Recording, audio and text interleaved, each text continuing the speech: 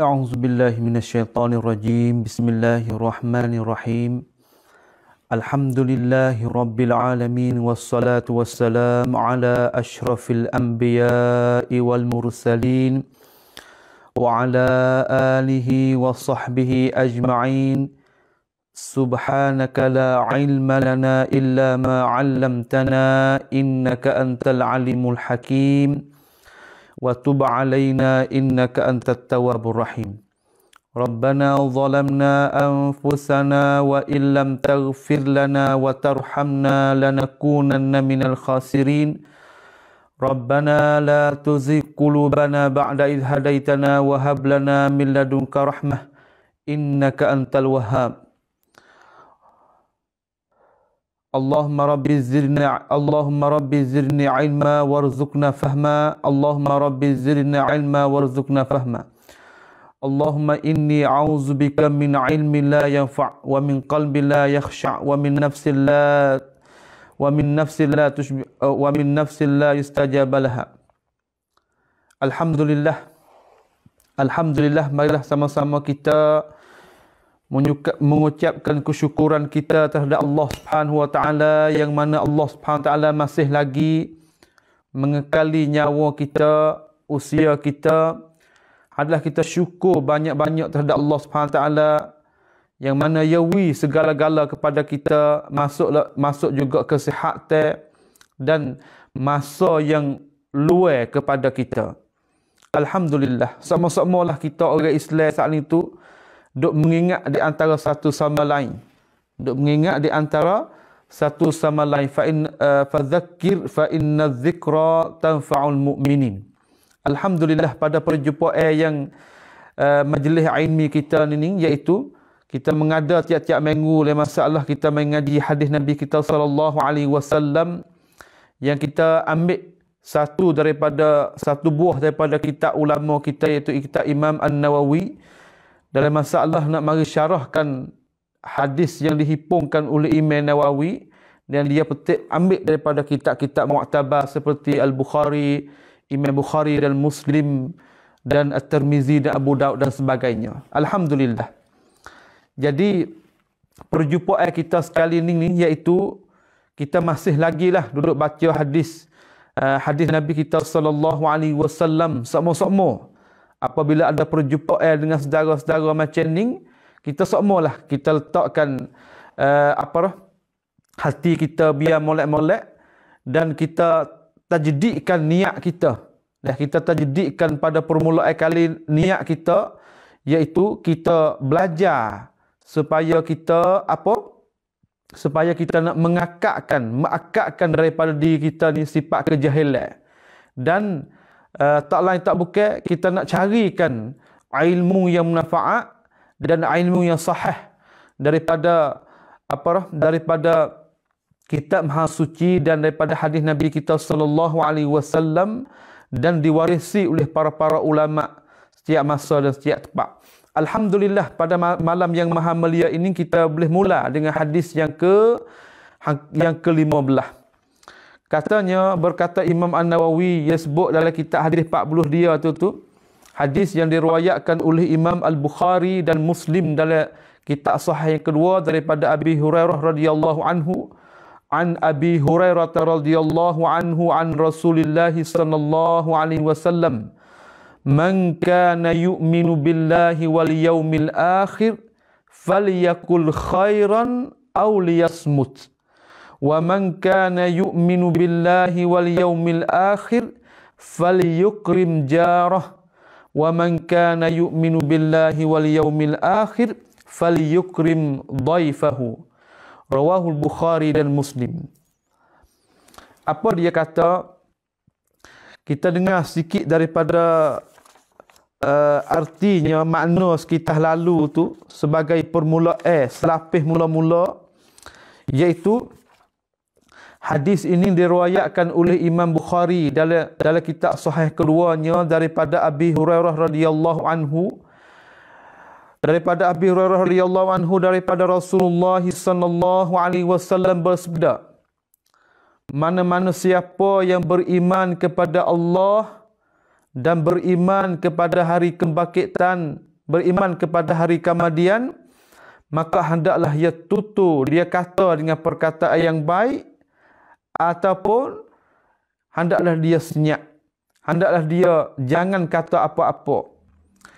Dan mana-mana siapa yang beriman kepada Allah dan beriman kepada hari kebangkitan hari kemudian, maka hendaklah dia meliakan jirannya iaitu jiran se sehalamannya dan begitu juga wa man kana yu'minu billahi wal yaumil akhir dan mana-mana siapa yang beriman kepada Allah dan hari kemudian hendaklah dia meliakan kepada tetamunya.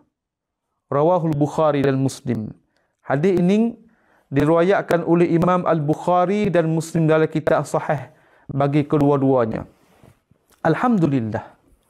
Alhamdulillah sebagai persabdaan Nabi kita sallallahu alaihi wasallam yang sangat pendek, yang sangat cantik eloknya.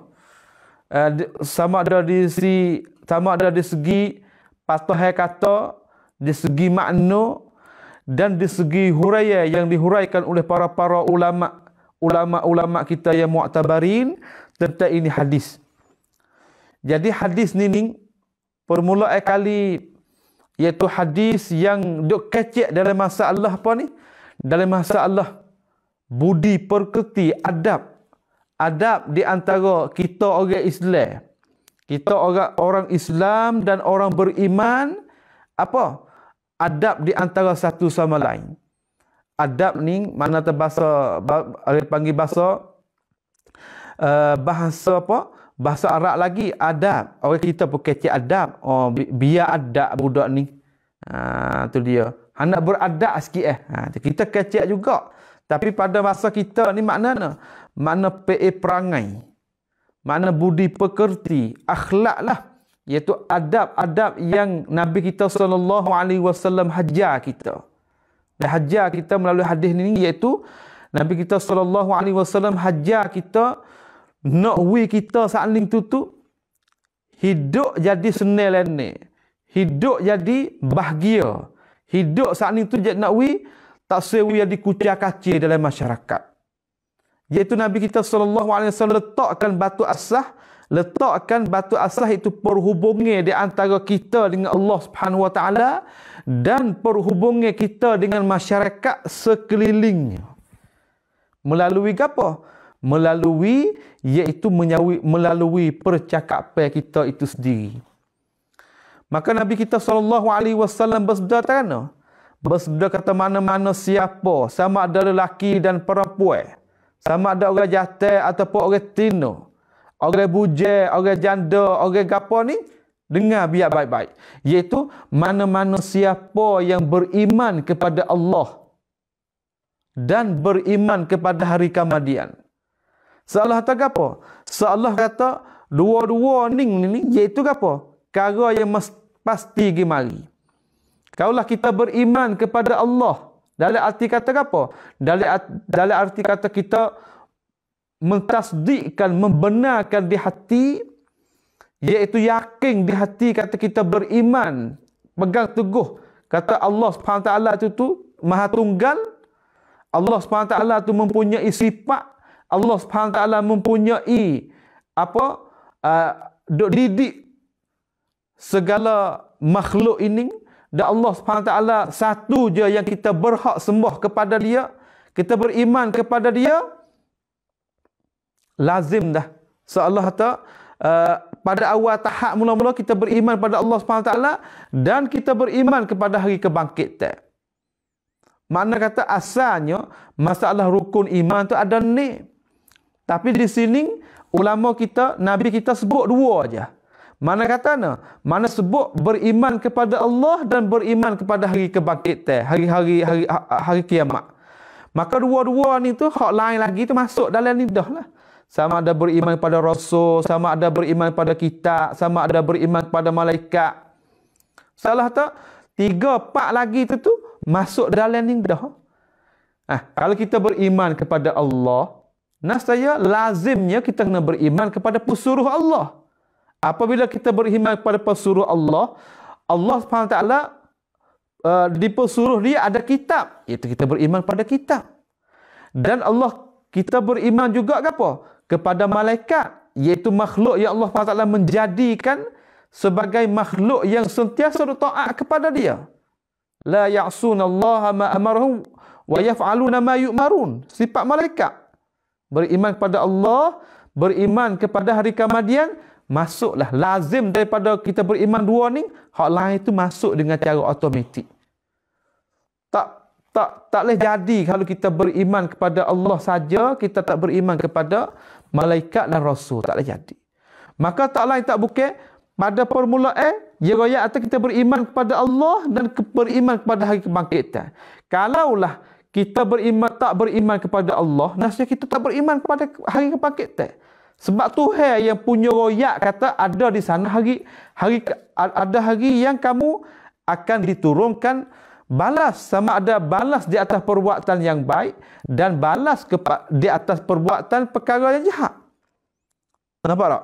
Maka Nabi kita royak kata siapa-siapa yang beriman kepada Allah dan hari kemudian seolah tak mencukupi merangkungi rukuk rukuk rukuk iman yang keenam. Ha, tu dia. Makna kata kan? Gapoh Nabi kena royak. Selepas pada kita beriman kepada Allah dan beriman kepada hari kemudian. Faliyakul khairan aw liyasmut. Maka hendaklah kamu kata perkataan kamu tutur perkataan kamu tutur tutur tuturan yang baik. Tutur tuturan yang baik. Maka perkara-perkara yang baik, mana tu perkara-perkara yang disuruhkan oleh syarak. Perkara yang syarak itu apabila kita melakukan syarak kita, apa? Ikrar, mengakui perkataan kita, mengakui perbuatan itu. Maka apabila syarak kita Allah dan Rasul, iaitu royak surat kerja karoning dan dia reda di atas itu perbuatan, maka dinamakan perkata, per, perkara itu perkara yang baik. Maka hendaklah kita tuturkan dengan perkataan yang baik. Masuklah apa banyak daripada cabang-cabang yang kita boleh sebut. Nah, yang kita boleh sebut. Seolah kata apa? Seolah kata Nabi kita nak royak, kita kata apa? Kata manusia saning tutuh tak terlepas daripada apa? Apabila dia duduk dalam masyarakat, ia akan tutuh. Maka Nabi royaklah fal yakul khairan au liyasmut. Kalaulah kalaulah mu nak kata, kata kalaulah mu nak mu nak kata, kata dengan perkataan yang baik. Kalau tidak perkataan yang baik, baik musnya au liyasmut. Ataupun hendaklah kamu gapo senyap. Allah akbar besarnya dah. Sebab tu uh, perkataan ulama kita dia kata Lau sakata man la ya'lam fil Islam la saqata al khilaf fil Islam. Lau sakata man la man la ya'lam la saqata al khilaf fil Islam. Kalaulah senyap bagi mereka yang tak tahu, nascaya tergugurlah. Nascaya tak ada lah persisihan dalam Islam. Mana tak banyak-banyak jadi persisihan banyak-banyak situ sini, Golek ke orang tak reti, tak pandai dalam ilmu tertentu, ya cakap. Sebab itulah Imam Ibn Hajar, ia kata kan, Man takallama bi ghairi fannihi faqad ata bil ajaib. Siapa-siapa duk kecek, sedangkan dia bukan ahli dalam bidang tu, nasaya lagi akan bawa kepada kamu apa? Dia lagi akan bawa kepada kamu kara yang dikepelakkan. Kau yang dikepulakkan. Memang orang kita apa boleh kecek, dia kelajak kecek banyak doa saat ni tu, masuk dalam media orang tu, jadi rusak habis. Kita tak biasa belajar le masalah ke doktor eh, bomo. Kita kecek le masalah tu. Ha, kita tak biasa tak biasa apa tahu le masalah uh, apa uh, sakit gigi ke apa ni. Kita lagi royak ubat sakit gigi tu. Tak kena. Bagi tu juga, kita tak biasa pernah belajar dalam masalah agama, kita nak kecek masalah agama. Ataupun kita tak pernah tengok perkataan, eh, pendapat. Mereka kita dengar pada guru kita saja. Hak pendapat lain kita tak tengok. Ha. Jadi buku juga. Sebab tu Nabi kaya kata, "Fal yakul khaira." Hendaklah kamu tutur dengan perkataan yang baik. Maka perkataan yang baik deh sama ada kita lafa tutur tubik daripada perkataan yang baik pada diri dia tu baik dah seperti zikir seperti kita uh, semua perkara yang dizikir terhadap Allah Subhanahu Wa Taala sama ada tahmid sama ada tahlil sama ada hauqalah la, la haula wala quwata illa billah. Hak tu memanglah adalah kamu kata yang baik. Adalah kamu kecek dengan cara molek lah kita kata. Adalah kamu kecek dengan cara cara molek. Kalau kalau tak kuasa juga nak kecek cara molek baik senyap. Sebab tu Imam Asy-Syafi'i dia kata makna ini hadis dia kata no. Makna ini hadis dia kata apa bahawa apabila seorang hendak berkata hendaklah ia berfikir. Mana kata no? Makna kata kena mikir dulu belum pada kita nak kata. Kena mikir dulu belum pada daripada kita nak kata. Nah begitu juga bila ternyata tidak ada bahaya atasnya berkatalah ya kita mikir dulu kata kita nak kata gapo saat ni tu tu kita mikir dulu Patut apabila kita mikir dah Benda kita mikir tu bahaya ke tak? Allah Akbar. Ni nak ajar ni. Sama ada saya sendiri duk goyak sama ada ikhwah-ikhwah ikhwah saya duk dengar sama ada saudara mana-mana duk dengar pun kita support musyarakah. Soalah kata kita duk goyak ni ni goyak hak para-para pendapat ulama kita duk goyak. Bukan kita pandai goyak kepada orang kita kita juga orang goyak ni kena melaksanakan juga. Apabila kita nak kata satu perkata, kita hendaklah mikir. Kalau benar kita mikir saat itu, kalau jadi mudarat, Imam Syafi'i kata, Imam Syafi'i kita kata kata nah. Kalaulah jadi ada bahaya di atasnya, tidak ada bahaya di atasnya, berkatalah. Tetapi bila ternyata sebaliknya, kalaulah kita benar kita mikir saat ini, nak bawa pada bahaya pada diri kita, ataupun bahaya kepada uh, masyarakat kita, biar kita dia lah. Biar kita senyap lah. Ha, tu dia. Ini orang panggil kata, masuk juga para-para pendakwah. Eh, masuk juga para-para pendakwah. Dogi suruh orang, dogi royak karo hak hak fadilat, dogi royak karo hak, hak, hak tak betul pada dalam syariat, dogi royak gitu, royak gini. Maka pada satu tahap, kalau kita pergi jumpa pada satu tahap kata, eh, kalau kita kecek, jadi manfaat. Imam itu kalau jadi manfaat, kecil lah. Kata lah. Tapi kalau jadi mudarat, terutama mudarat, kalau kita kecil, mudarat terlebih atas lagi, hendaklah kita senyap dulu. Hendaklah kita, kita senyap dulu. Ha, itu dia. Seperti misal kita kata. Seperti misal kita kata, kita tengok seorang saat ni tu tu, gapo? Dia tu merokok masalah. Kita tengok kita tahu dah orang merokok ni orang yang kerja cara yang mencanggahkan syariat Islam. Sebab Nabi kita lari. Maka kita fikir kata apabila cara tu tu pasti di atas pendakwah orang nak serukan cara yang baik ya kena royak. Apa diri royak saat itu manfaat tak? Ya manfaat. Tapi apabila kita royak dah pada uruh tu royak kepada ya kita terfikir kata kalau kita royak lebih banyak-banyak-banyak tu jadi jadi mudarat. Maka kita mari laksana hadis Nabi kita sallallahu alaihi kita diam tu lebih baik. Faliyakul khairan aw liyasmut. Habis itulah cakap-cakap ni kita mengata kadang-kadang pelik pada diri kita, kadang-kadang turun di atas kepala kita. Ha, tu dia.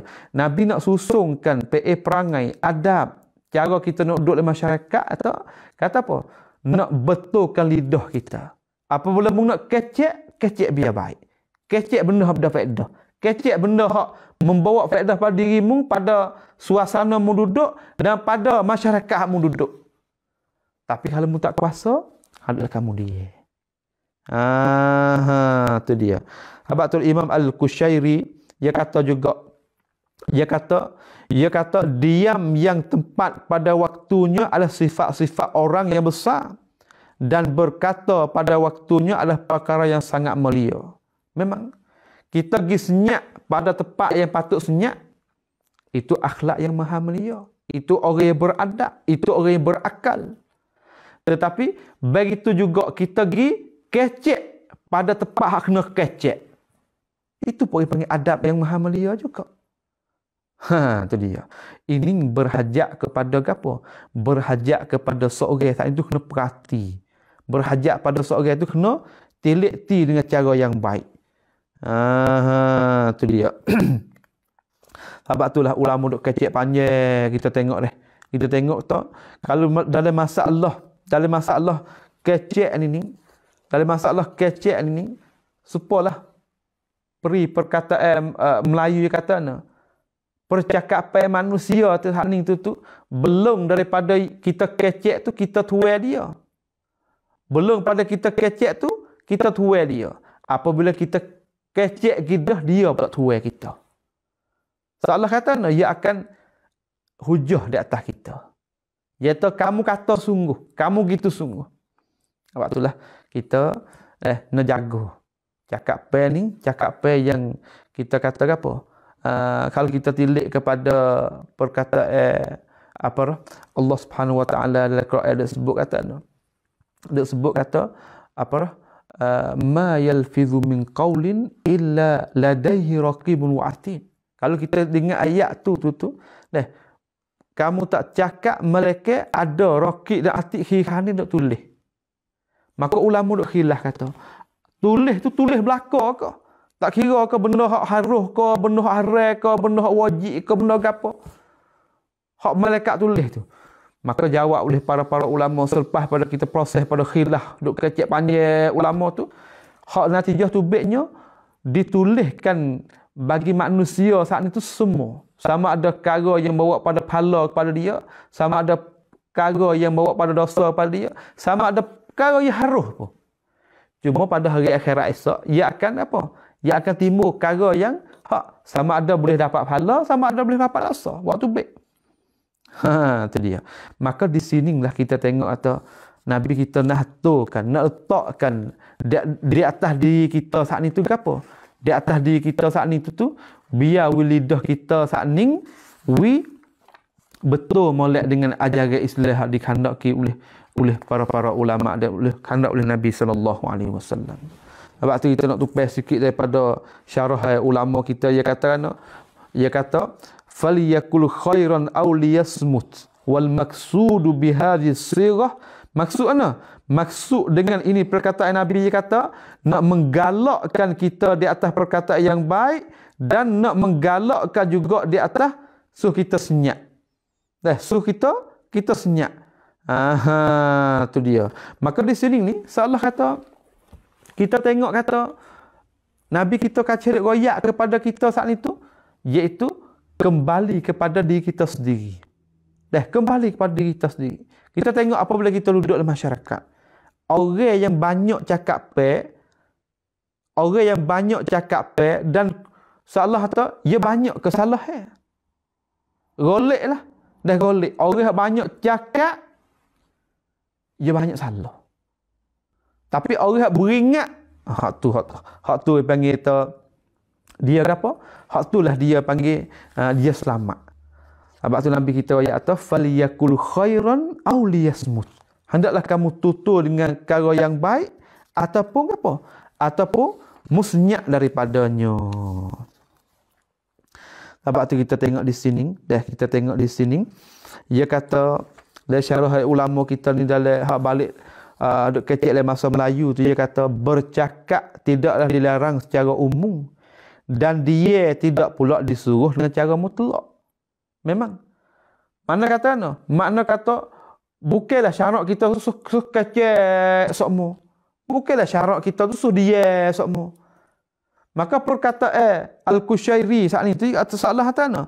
Salah tak kita pergi cakap pada masa yang kita kena cakap dan kita pergi dia pada masa yang kita patut dia ini nak dipanggil orang yang bijak pandai dalam masalah guna hidup. Bijak pandai dalam masalah guna hidup.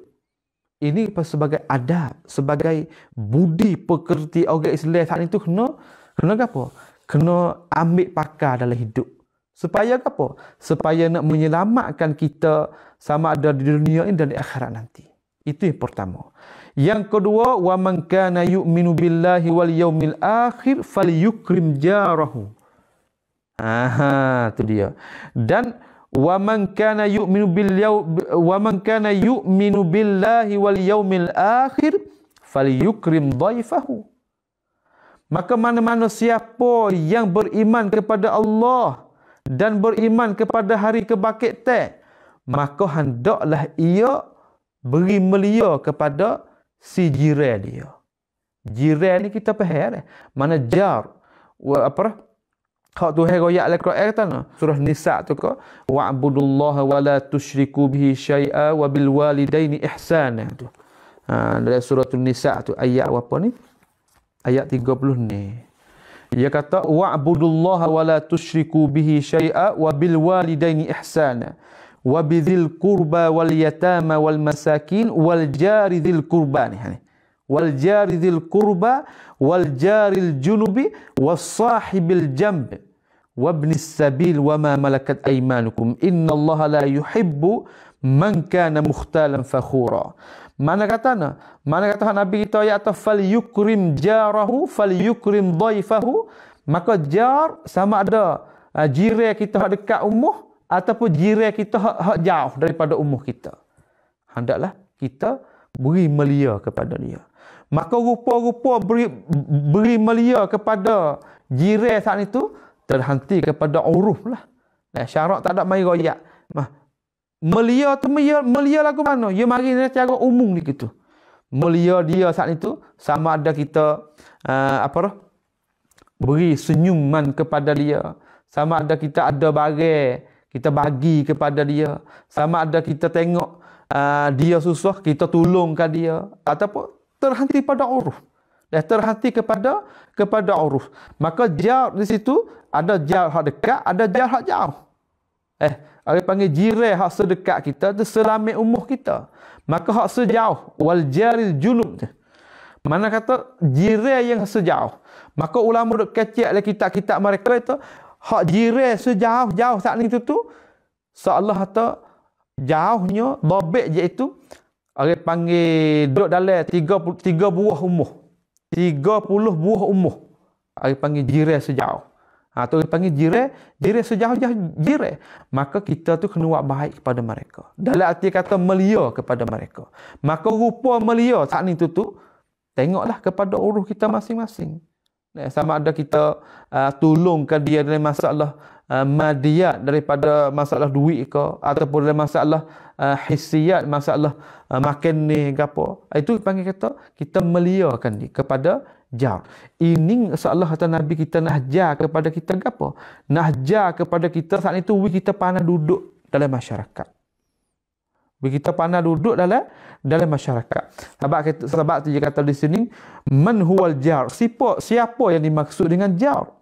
Dia kata al mutabadiru annahu yaksudu bil jar fil bait. والظاهر والله أعلم أنه يشمل حتى الجار في الدكان wal muradu fi tahdidihi yarji'u fi tahdidil al-'uf wa qad warada an al-jar 40 daran min kulli janib. Fa in sahha wa illa yarji'u fihi ila al-'uf. Yarji'u fihi ila al-'urf wa, wa min anwa'i ikrami jar muwasatuhu 'inda hajatihi. Kap, apa dia kata? Dia kata hak segera hak segera pehenya yang dimaksud dengan jar tu orang yang duk sekeliling umur kita. Ataupun dia kata meliputi juga jar jire hak sekedar dengan kita. Hak sekolah dengan kita. Kita kata lagi lah. Kalau gitu, kalau tu syarat tak ada mari wak sakat teh kata murak dengan dia tu hak mana? Maka pada uruh lah. Kita tengok pada uruh tepat teh masing-masing kata apabila dikirakan itu jar maka itu jalan dah. Kalau tepat teh kita ni seolah tak orang sehalame dengan kita. Ha, lima buah umuh, ne buah umuh duduk selama dengan kita. Kita kena buat baik. Orang panggil hak di atas kita, kita kena buat baik kepada sejirai kita. Ha, sebab itulah Nabi kita sallallahu alaihi wasallam royak kepada kita kata siapa-siapa yang uh, ada makan ni dia tak bagi kepada jauh dia sehingga jiran dia tu mengadu pada hari akhirat esok dia kata dia apa dia saat itu duk bahu bahu hak hak dibuatkan oleh uh, seorang umur tu hak hak lebih saat itu tu dia duk bahu. Maka seolah seorang saat itu dapat dosa juga. Dengan sebab apa? Dengan sebab dia lapar kita tak, tak ada giwi kepada dia. Ini sebagai hukuk yang dihajar. Hak-hak yang patutlah kita sejirai itu kena tunai pergi mari. Aha, tu dia ni masalah masalah apa ni? Masalah ijtimai belakang ni Masalah kita bergaul di antara satu sama lain. Hak Islam kita hajar kepada kita. Hak Islam kita hajar, hajar kepada kita. Begitu juga dia kata wa man kana dan sesiapa yang beriman kepada Allah dan beriman kepada hari-hari kebangkitan hendaklah dia apa?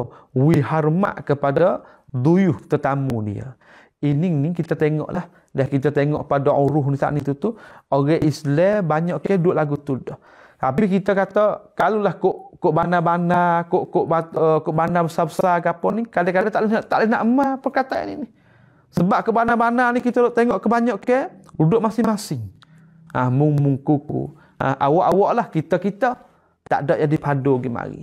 Apabila jirai, apabila duyuh siapa mari, ya apabila duyuh siapa mari duduk dengan kita, kita buat tak padu. Kita buat tak tak apa? Tak tak layak dia. Itu tak kena cara. Itu tak kena cara yang hak Islam kita pada asal tu suruh royak kepada kita hak kita di atas tetamu tu lagu mana. Aha, tu dia. Maka ini ni, kalaulah seolah kata, seolah tak kalaulah kita tak kerja supaya hak, hak Nabi kita royak ni, seolah tak ulama kita tanggung kata kita tu tak sempurnakan iman. Tak sempurna iman.